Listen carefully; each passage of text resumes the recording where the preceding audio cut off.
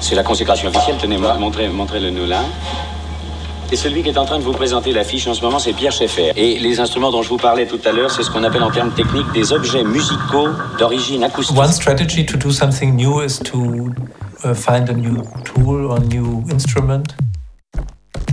And then all you're doing is kind of new automatically. I'm not a techno optimist.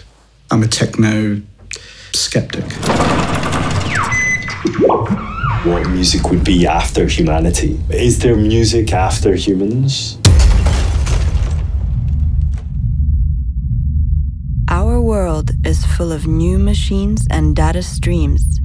We would like to introduce you to artists who have come up with alternative ways of approaching technologies.